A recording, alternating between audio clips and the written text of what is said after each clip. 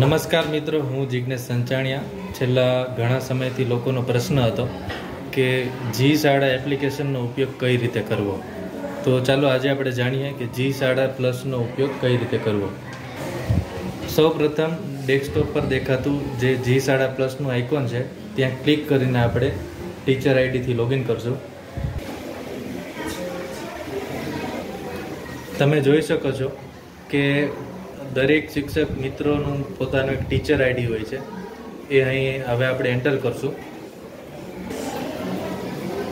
Teacher આઈડીથી enter થયા બાદ આપણે વિષય સિલેક્ટ કરવાનો છે.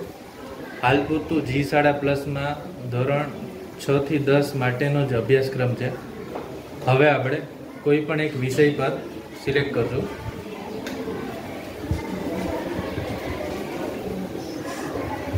ટોપિક સિલેક્ટ કર્યા બાદ આપણે અહીં જોઈ શકો છો કે આપણી પાસે ચેપ્ટરના નામ છે અને એક બાજુ ટોપિક છે.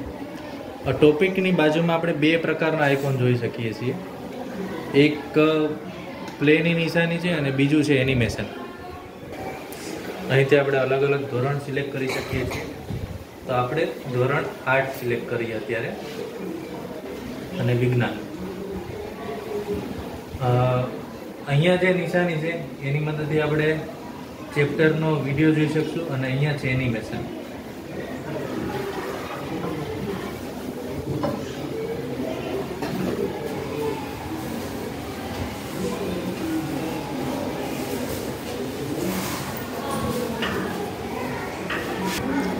તમે જોઈ શકો છો કે આપણે ધોરણ આઠમાં વિજ્ઞાનમાં પહેલો પાઠ છે, પાક ઉત્પાદન અને વ્યવસ્થાપન. એમાં વિવિધ પ્રકારના ઓજારો આવે છે. હવે ઓજારોનો આપણે કઈ કઈ રીતે ઉપયોગ કરી શકીએ અને આપણે એને થ્રીડી એનિમેશનમાં કઈ રીતે બતાવી શકીએ, એ આપણે જોશું. તો સૌપ્રથમ કોઈ પણ ઓજારને આપણે થ્રી એના ઉપર ક્લિક કરવાથી એને આપણે થ્રી એનિમેશનમાં ક્લિક કરી શકશું. સૌપ્રથમ આપણે આઈએફપી પેનલને, એમાં આપણી પાસે બે પ્રકારના સ્લોટ છે. એક તો આપણે જે કેબલ છે, જેનાથી આપણે એચડીએમઆઈ કેબલથી લેપટોપને કનેક્ટ કરવાનું છે અને બીજો કેબલ છે ટચ કેબલ. એ બંને કેબલને સાથે કનેક્ટ કનેક્ટ કરી લેશું. એટલે આખી પેનલ છે ટચ પેનલ બની જશે. પછી કોઈ પણ સાધન ઉપર ક્લિક કરવાથી એને થ્રી ડાયમેન્શનમાં જોઈ શકાશે, એને રોટેટ પણ કરી શકાશે. ફરી પાછું એ જ નામ ઉપર ક્લિક કરશું. એટલે આપણને જે આપણું મૂળ જે લેઆઉટ છે, ત્યાં આવી જશું. ત્યારબાદ આપણે અહીં ડાબી બાજુ ખૂણા પર ત્રણ એરા છે જોઈ શકીએ છીએ. તો ડાબી બાજુએ, અહીં ડાબી બાજુએ ત્રણ એરા છે. અહીં આપણે ક્લિક કરવાનું છે. ક્લિક કરવા બાદ ત્રણ અલગ અલગ વસ્તુઓ આપણને આપેલી છે. એમાં જવાનું છે આપણે પ્રેક્ટિસમાં. પ્રેક્ટિસમાં ગયા બાદ તમને એરો આપેલો છે. એ એરા ઉપર આપણે ટચ કરીને અથવા તો લેપટોપ પરથી ક્લિક કરીને એના પર ક્લિક કરશું એટલે આપણને છે એનિમેશન જોવા મળશે. એનિમેશન જોયા બાદ ડાબી બાજુ ખૂણા ઉપર એ એનિમેશન વિશે આપણે આપણે જે બી એનિમેશન હશે એના વિશે ક્વેશ્ચન આવશે. પાક ઉગાડતા પહેલાં પ્રથમ પગથિયું જમીનનું ખાલી જગ્યા છે.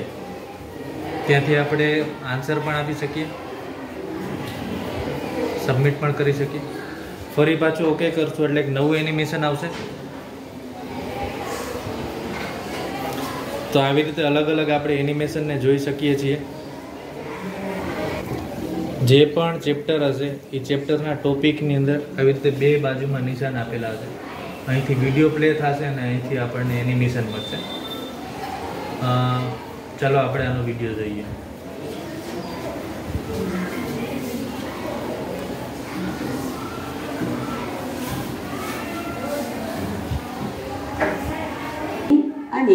વાવણી વિશે ચર્ચા. કરી અને વાવણી તે પાક ઉત્પાદનની મૂળભૂત પદ્ધતિઓમાંની એક છે. ત્યારબાદ આપણે ધોરણ સાત વિજ્ઞાનનું એક એનિમેશન વીડિયો જોશું.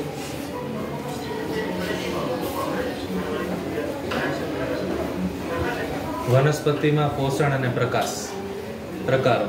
હવે આપણે પ્રકાશ સંશ્લેષણ વિશે એનિમેશન વીડિયો જોશું.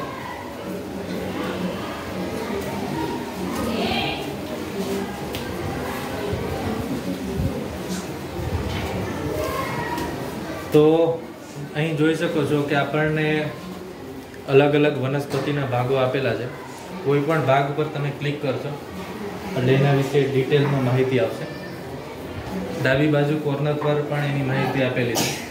ફરી પાછું ક્લિક કરશો એટલે મૂળ પોઝિશનમાં આવી જશે. ખાસ સૌથી અગત્યનું મેનુ છે કે અહીં તમે પેનનો પણ ઉપયોગ કરી શકો, બોર્ડ ઉપર લખી પણ શકશો અને સાથે સાથે અહીં પ્રેક્ટિસમાં જઈ અને તમે વધારે છે એ તમે માહિતી મેળવી શકશો. હવે તમે અહીં જોઈ શકો કે આપણને ચાર વસ્તુ આપેલી છે. પાણી, ઓક્સિજન, કાર્બન ડાયોક્સાઇડ અને ગ્લુકોઝ. ઉપર સૂચના લખેલી છે, પાણીના અણુઓને મૂળ પર ખેંચો અને છોડો.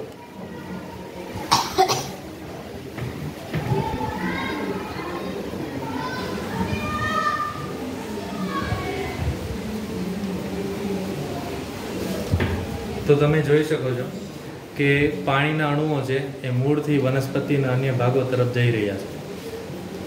ડાબી બાજુમાં જો જે પણ વીડિયો છે, જે પણ માહિતી છે, એના વિશે એક પ્રશ્ન આવશે. પ્રકાશ સંશ્લેષણ માટે જરૂરી પાણી ખાલી જગ્યા દ્વારા પરિણામમાં ઉપર આવે છે. તો આપણે એના પર જવાબ પર ક્લિક કરીએ. સાચો જવાબ છે, જલવાહક કોષો. પર્ણની આંતરિક રચના જોવા માટે પર્ણ પર ક્લિક કરો.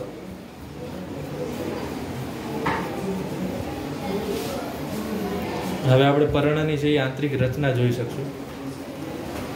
ત્યારબાદ એના વિશે એક પ્રશ્ન આવશે. વનસ્પતિમાં મોટાભાગની પ્રકાશ સંશ્લેષણની ક્રિયા ક્યાં થાય છે? આપણે જવાબ પર ક્લિક કરશું. પર્ણ. સાચો જવાબ. કાર્બન ડાયોક્સાઇડના પરમાણુઓને ખેંચો અને વાયુ રંધ્ર પર મૂકો. તો હવે કાર્બન ડાયોક્સાઇડના જે પરમાણુ છે, એને આપણે અલગથી અહીંયા બતાવ્યા છે.